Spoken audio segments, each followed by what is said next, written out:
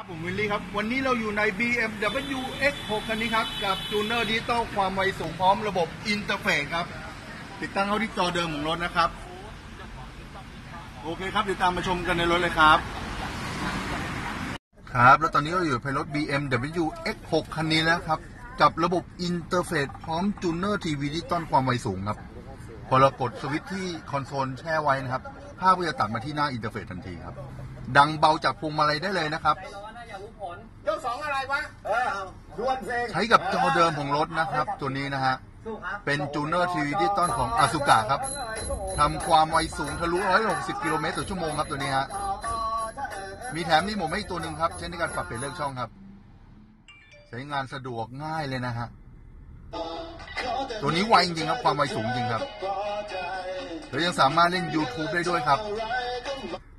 ผ่านระบบ Mirror Link Wi-Fi นะฮะเราเชื่อมต่อ Mirror Link นะฮะบนนะครับ เอาภาพทุกอย่างและเสียงเนี่ย ขึ้นไปเล่นบนหน้าจอได้เลย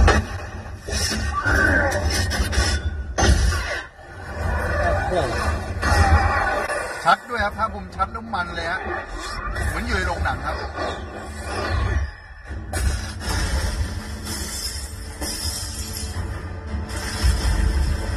ก็หึมทีเดียวฮะ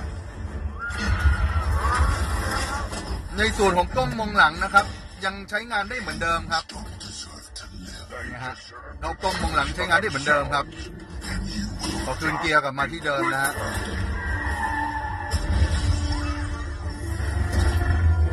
ลงตัวครับกับระบบ Mirror Link Wi-Fi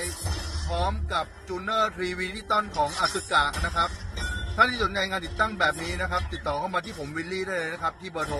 086 956 6659 วันนี้ขอบคุณมากนะครับ สวัสดีครับ